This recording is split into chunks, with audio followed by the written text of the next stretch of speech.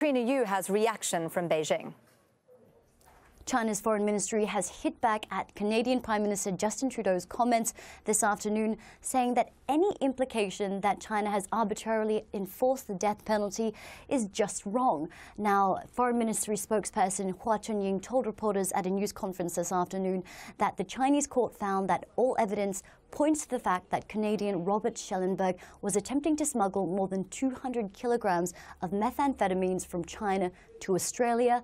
She reminded reporters that in China, uh, these crimes are treated very harshly, and in China, all people are equal before the law. She also said that China really hopes that Canada will stop these irresponsible comments. Now, this has further soured relations between China and Canada.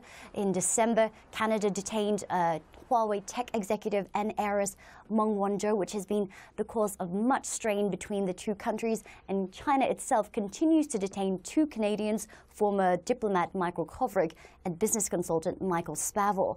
Now, in terms of Robert Schellenberg, he has 10 days to appeal this sentence, and his lawyer has said today that they fully intend to do so.